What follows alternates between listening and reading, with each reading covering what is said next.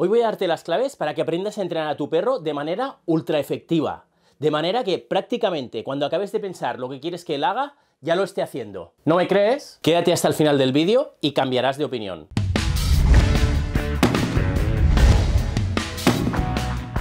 Hola, soy Manuel de Canine Service Barcelona y te doy la bienvenida a un nuevo vídeo. Descárgate mis ebooks de educación canina para complementar la información que te doy aquí en el canal. suscríbete para aprender a entrenar a tu perro de manera fácil, rápida y efectiva. Vamos con el vídeo. Hoy contamos con Casiel, un invitado de lujo. Es un Shiba Inu de dos meses y medio que está haciendo su formación para cachorros conmigo. Vamos a revisar la primera clase que hicimos dedicada a una rutina de ejercicios. Los mejores juegos que puedes realizar con tu cachorro o con tu perro adulto dentro de casa son aquellos que favorecen la construcción de significados conjuntos y de una comunicación bidireccional. Si te acostumbras a mantener este tipo de interacciones con tu perro, será muy muy fácil que te haga caso de muy buen grado y con mucha rapidez. Si tienes un perro adulto, esta rutina te va a servir igual, pero si tienes un cachorro, te va a resultar mucho más fácil, porque en el caso de los cachorros el cerebro es extremadamente plástico, sus vías neuronales se están desarrollando y las conexiones se hacen con muchísima facilidad. Por lo tanto, los aprendizajes los cogen con una rapidez tremenda. Veamos, como en menos de un minuto trabajamos con Casiel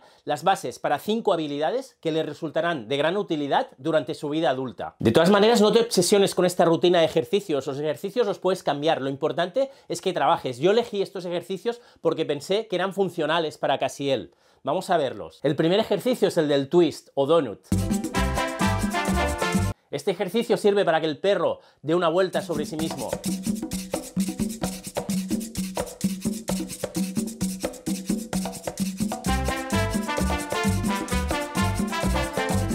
Aquí lo importante era trabajar la lateralidad. Él es zurdo, tiene tendencia a hacer las cosas por la parte izquierda. Incidir en este tipo de ejercicios centrados en la lateralidad le va a ser muy útil durante su vida adulta para que pueda desenvolverse en situaciones sociales tanto por la derecha como por la izquierda. El segundo ejercicio es el tumbado. Verás que no tiene ninguna ciencia, es un ejercicio que es muy funcional, todos los perros tienen que saber sentarse, ¿por qué no empezar a esta temprana edad? El tercer ejercicio que realizamos con Casiel es el tumbado. Este en perros adultos tiene un poquito más de dificultad. Verás que aquí con Casiel es muy sencillo realizarlo.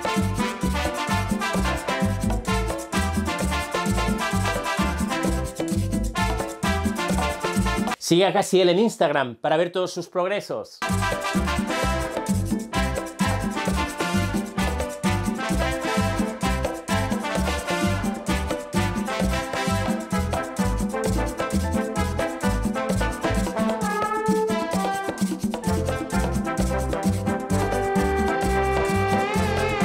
También es un ejercicio súper funcional. En muchas ocasiones sus dueños van a necesitar que esté tumbado en algún sitio. El ejercicio número 4 de la rutina es hacer la croqueta o rodar sobre sí mismo.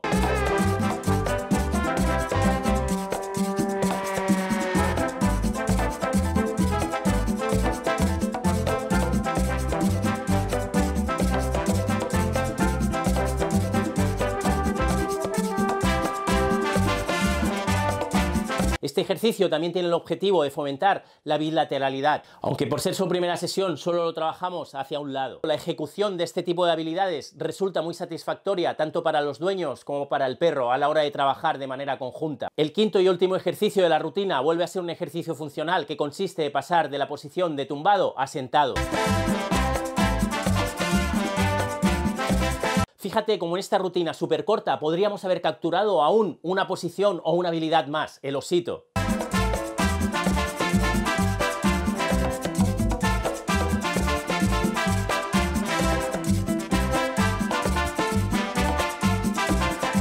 De todas maneras, no la capturé porque no era mi intención trabajar ese ejercicio en ese momento. Pero fíjate que va a ser muy fácil si le queremos enseñar a sostenerse sobre el, sobre el tren inferior haciendo la posición del osito. ¿Qué quiere decir esto? Pues que los perros a esta temprana edad son auténticas esponjas que tienen mucha facilidad para aprender conceptos, para aprender nuevas posiciones y que realmente si se lo planteas de una manera constructiva lo van a coger súper rápido y ahí vas a estar sentando unas bases importantísimas para que el día de mañana te haga caso de una manera muy fácil, muy rápida y muy intuitiva. Y vuelvo a insistirte, si tu perro es adulto, puedes hacer las mismas rutinas y obtendrás los mismos resultados. Lo único que vas a tener un poquito más de faena, te va a costar un poco más. Realizando este tipo de juegos, este tipo de actividades, vas a desarrollar lo que yo llamo una relación sinérgica de construcción de significados conjuntos. Esto te va a facilitar muchísimo que tu perro esté pendiente de lo que tú quieres. Vais a, trabajar en equipo de una manera muy fluida. Estáis estableciendo las bases para una gran relación de obediencia en el futuro.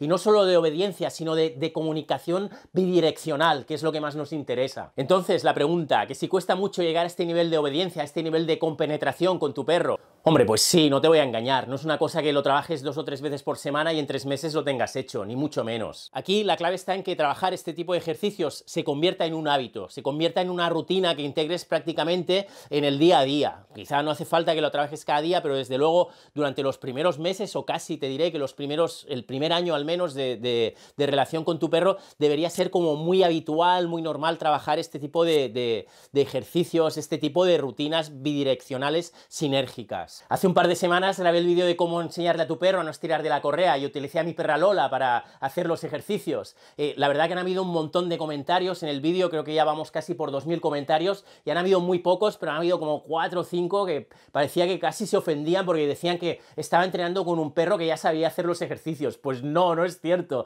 Mi perra no sabía hacer los ejercicios. De hecho, ella como que no tiene tendencia a tirar de la correa, le puse comida, le puse un estímulo eh, muy potente, muy fuerte delante suyo para que tirase de la correa y poder enseñaros cómo se puede trabajar este ejercicio.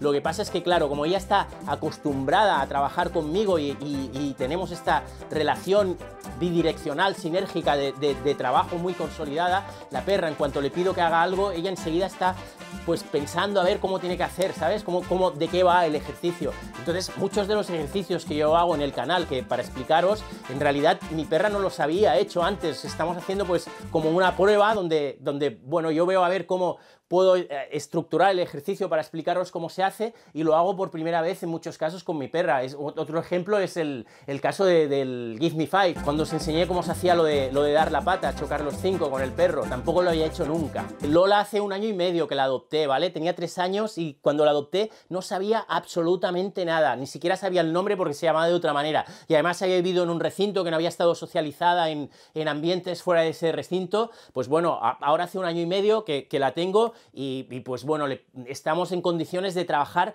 muchísimas cosas. ¿Por qué? Porque nos lo pasamos bien el uno con el otro trabajando, ¿vale? Esta es la clave, constancia y pasártelo bien, no hay más. bueno, otra clave sería técnica, pero bueno, la técnica la tienes aquí en el canal, en el canal te explico muchísimos trucos, muchísimos secretos para que puedas llegar a, a un nivel muy parecido al que tengo yo con Lola, ¿vale? Hombre, no, no, lógicamente falta un poquito, ¿no? Tendrías que hacer alguna formación más, que para esto hago las formaciones presenciales, pero con todo lo que tienes en el canal, puedes llegar bastante lejos con el perro. Pues ahora que ya tienes las claves para convertir a tu perro en un máster, en un perro súper mega ultra obediente, me gustaría que me dejaras abajo en comentarios qué has decidido enseñarle, qué te gustaría hacer con él. Descárgate mis ebooks para complementar la información que te doy aquí en el canal, especialmente si tienes un cachorro ahora mismo, descárgate el ebook para cachorros, te va a ayudar muchísimo, te va a facilitar muchísimo las cosas, te va a ayudar a sentar muy bien las bases para el futuro. Sígueme en las redes sociales para estar atento de los talleres presenciales que doy en Barcelona y Gerona. Suscríbete al canal para no perderte mis próximos vídeos y si ya estás suscrito, recuerda darle a la campanita